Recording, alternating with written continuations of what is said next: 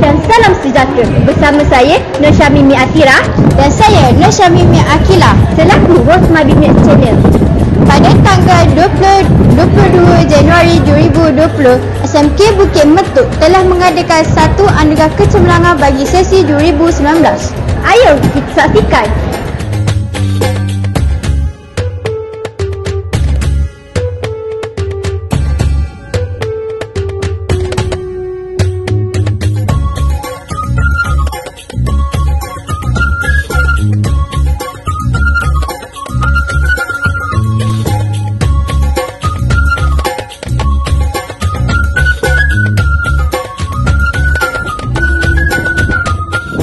Bersama saya, Saudara Zaim Hakimi, pelajar PT3 terbaik 2019.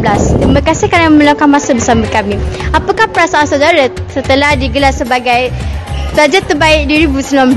Perasaan saya amat gembira kerana mendapat anugerah pelajar PT3 Cemerlang ini. Apakah uh, tips untuk kami perolehi daripada anda setelah mendapat gelaran itu? Yang utama ialah uh, solat lima waktu jangan tinggal, uh, berdoa kepada Allah, taat kepada ibu bapa. Yang kedua pula ialah uh, fokus dalam kelas dan yang ketiga pula ialah membina jadual belajar dan pergi ke tuition. Yang keempat pula ialah belajar bersungguh-sungguh dan uh, tawakal kepada Allah. Itu saja.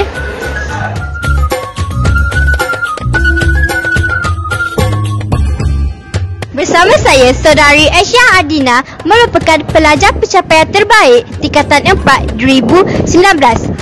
Terima kasih Saudari kerana telah meluangkan masa bersama saya. Sama-sama dan terima kasih juga kerana sudi menemukan saya. Saya ingin menanyakan beberapa soalan kepada Saudari Aisyah. Soalan pertama, apakah perasaan Saudari setelah mendapat pencapaian terbaik bagi tingkatan 4? Uh, pertama sekali sudah tentu saya rasa bersyukur kerana bukan senang, bukan mudah untuk saya dapatkan anugerah ini. Dan perasaan kedua saya ialah gembira. Terima kasih juga kepada semua guru-guru dan juga rakan-rakan yang telah membantu saya dalam membantu saya untuk belajar untuk ah yalah. Soalan seterusnya apakah perancangan awal sedari sebelum meniruki peperiksaan SPM bagi tahun ini? Uh, perancangan awal saya ialah saya akan berusaha untuk menepati target yang telah saya tetapkan untuk uh, mula-mula sekali ialah TOV dan seterusnya memba- membaiki pencapaian grade saya untuk tahun-tahun akan mendatang iaitu untuk OTI, untuk peperiksaan percubaan SPM dan juga untuk SPM 2020. Saya juga berharap bahawa saya akan dapat straight A dalam SPM 2020 pada tahun ini. Sekian saja bersama saya.